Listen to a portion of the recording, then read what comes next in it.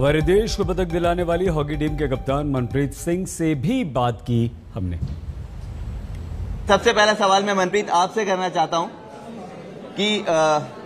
Tokyo ने medal तो लाया टीम के लिए लेकिन उसके अलावा खास चीज़ और क्या हुई टीम की?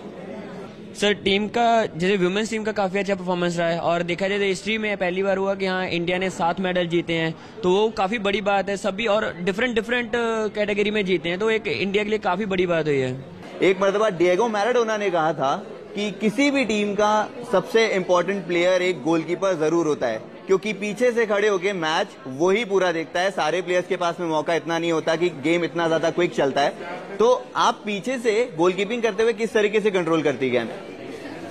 वही है कि क्योंकि आपको मैच वो सब चीज़ें आपको एक्सपीरियंस सिखाता है कि अगर मैं आज से चार साल पहले की बात करूँ तो अगर ये सिचुएशन देखती तो शायद मैं भी नर्वस हो जाती कि, ओके, एक ज़ीरो से हम लीड कर रहे हैं, उसको मेंटेन रखना है मेंटेन स्टिल आज भी ये है बट उसे पता है कि हमें कैसे हैंडल करना है और गोलकीपर का रोल हमेशा इम्पोर्टेंट रहता है। ये मैं ज़्यादा सोचती नहीं थी कि ठीक है, पर टाइम के साथ समझ आया कि ये सब छोटा सा ब्रेक आप देखते रहिए आज तक।